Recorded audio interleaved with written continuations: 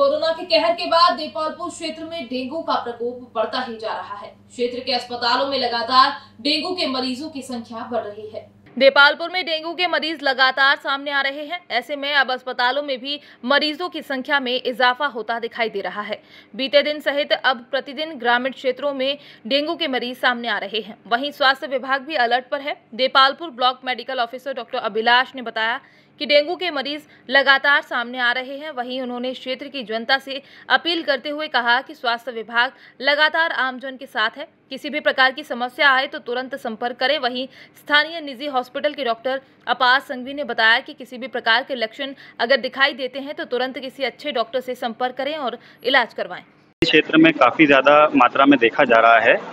OPD base की अगर अपन बात करें तो हर रोज़ लगभग लगभग 25 से 30 सस्पेक्टेड पेशेंट्स आ रहे हैं। दो तीन पॉजिटिव पेशेंट्स भी लगातार मिल ही रहे हैं।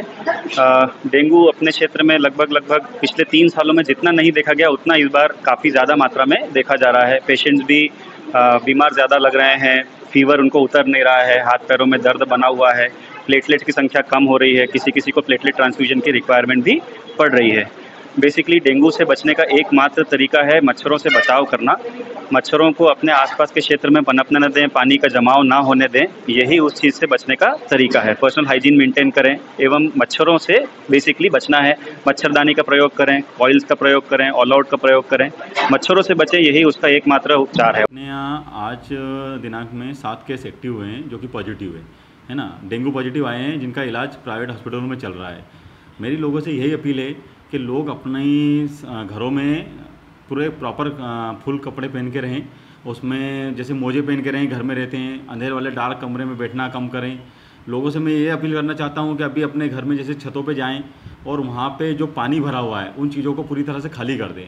जैसे कूलर है, घर में कूलर भी हो सकता है आपके, जो कि आपने गर्मी के टाइम में यूज़ किया हो और अभी रख दिया है।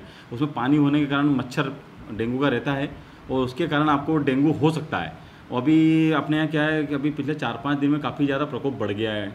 देखने में आ रहा है कि अधिकतर गाँव में छः सात गाँव में केस सडनली बढ़ गए हैं। तो मेरी लोगों से अपील है कि आप अपने बच्चों का भी ध्यान रखें और अपना स्वयं का भी ध्यान रखें। क्योंकि कोरोना के साथ साथ अभी डबल मार अपने को डेंगू की है और दोनों चीज़ एक साथ होना अपने लिए बहुत चिंताजनक विषय है।